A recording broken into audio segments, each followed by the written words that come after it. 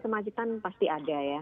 Uh, yang sudah kami lakukan adalah uh, bersama stakeholders ya, tentu kepolisian dalam hal ini Korlantas, pihak pengelola jalan tol dan juga Kementerian PUPR itu sudah melakukan berbagai simulasi. Jadi memang uh, ini ada rumusan-rumusan di mana bila uh, volume kendaraan yang melintas di jalan tol itu melebihi kapasitasnya, jadi ada istilahnya visi ratio ya, vehicles uh, apa dibandingkan capacity, volume vehicles dibandingkan capacity itu lebih dari satu, itu maka kemacetan akan terjadi. Dan setelah kami uh, hitung lagi ya, ternyata kalau uh, tidak dilakukan rekayasa dengan asumsi ada sekitar 23 kendaraan 23 juta kendaraan yang akan melintas ini akan menyebabkan kemacetan panjang yang bahkan nanti uh, waktu perjalanan para pemudik itu bisa lama sekali. Nah dari situlah kemudian kami melakukan simulasi tentang beberapa rekayasa lalu lintas. Dan setelah dilakukan uh, kalkulasi lagi, ternyata memang satu rekayasa saja tidak cukup belum memperoleh uh, rasio yang pas untuk memberikan kenyaman, kelancaran berlalu lintas. Jadi oleh karenanya ada beberapa rekayasa yang memang nantinya akan dilakukan bersamaan. Yang paling memungkinkan dan sudah juga diumumkan oleh pihak Korlantas ini adalah ganjil genap dan uh, one way. Di samping juga nantinya akan ada pelarangan truk sumbu tiga, jadi truk yang besar-besar itu untuk sementara waktu tidak bisa masuk ke dalam jalan tol. Jadi itu Mbak uh, upaya-upaya yang dilakukan ya. Di samping tentunya sosialisasi kepada seluruh masyarakat agar mereka jauh hari sudah tahu akan ada rekayasa ini dan juga seperti yang sudah dihimbau juga oleh Pak Presiden, memang diharapkan masyarakat ini sebisa mungkin bisa uh, mudik lebih cepat ya. Sehingga nanti jam apa, hari dan jam kepulangannya bisa lebih terurai, tidak lagi menumpuk hanya di satu dua tanggal. Gitu. Oke. Oke, tapi kalau kita lihat dari titik-titiknya begitu, kira-kira di area mana saja atau titik-titik mana saja yang diprediksi akan menjadi pusat kemacetan dan juga membutuhkan rekayasa arus lalu lintas ini lebih dari satu rekayasa? Iya, seperti yang juga sudah diumumkan juga ya, uh, dan uh, sekarang mungkin jadwalnya juga sudah beredar ya.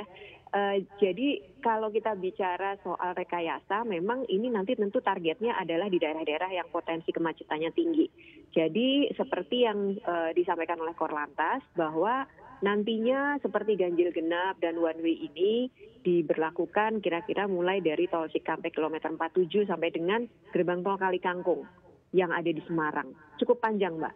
Uh, nah ini yang masyarakat perlu tahu ya jauh hari supaya nantinya uh, tidak mengalami masalah di tengah jalan. Kemudian juga nantinya ada di sekitar uh, kilometer 72. Kemudian juga nanti setelah masuk ke daerah Jawa Tengah itu ada beberapa titik lagi.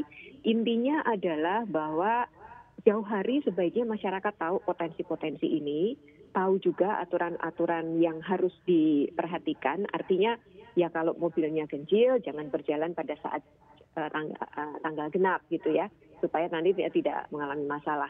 Jadi uh, lebih banyak di tol di dari mulai Cikampek sampai dengan Semarang, Mbak. Ini yang okay. punya potensi titik-titik kemacetan. Hmm. Oke, okay. tapi kalau kita lihat untuk arah sebaliknya, Mbak, misalnya dari arah uh, Jawa begitu ya menuju ke Pulau Sumatera, kira-kira seperti apa? Ya, Jawa ke Sumatera ini sebenarnya yang justru punya potensial macet uh, adalah tol yang menuju ke Merak. Ya, dan juga titik kemacetan atau kepadatan itu ada di penyeberangan Merak Bakauheni. Setelah sampai di Bakauheni kemudian akan jalan ke lewat Trans Sumatera, relatif uh, kalau kita lihat volumenya tidak akan sepadat yang ada di Pulau Jawa. Jadi yang mungkin lebih krusial adalah di tempat penyeberangan dan jalan dari Jawa menuju ke tempat penyeberangan sekitar yang ada di Provinsi Banten sampai dengan uh, di titik merak uh, penyeberangan ini. Itu yang kami uh, perhatikan dan kami juga fokuskan pengawasan serta pengendaliannya di situ. Kemudian kalau di tol Trans Sumatera sendiri kami melihat potensi kemacetannya jauh lebih kecil daripada di Jawa. Jadi uh, masyarakat mungkin nantinya akan lebih banyak melihat hambatan justru di penyeberangan. Kalau di jalannya kami melihat itu tidak akan terjadi masalah kemacetan seperti di Trans Jawa gitu. Oke, apakah perlu ada rekayasa begitu untuk uh, yang menuju ke arah Sumatera? Sampai saat ini kami belum uh, melihat perlunya ada rekayasa, tapi tentu in, ini nanti akan menjadi satu yang situasional sifatnya. Uh, Korlantas uh, dalam hal ini kemudian juga uh, bersama Polda Lampung ini juga sudah membahas hal ini, termasuk juga dengan Sumatera Selatan, untuk melihat situasi jika memang nanti ternyata kepadatannya uh, sudah di luar kebiasaan, ya bisa saja dilakukan rekayasa yang tentunya memungkinkan untuk dilakukan secara mendadak. Misal kemudian one way, nanti uh, yang lain dipindahkan atau dialihkan ke jalan nasional, bukan di tol. Tapi kami okay. melihat ini potensinya sih lebih kecil lah Mbak terjadi hal tersebut dibandingkan di Jawa.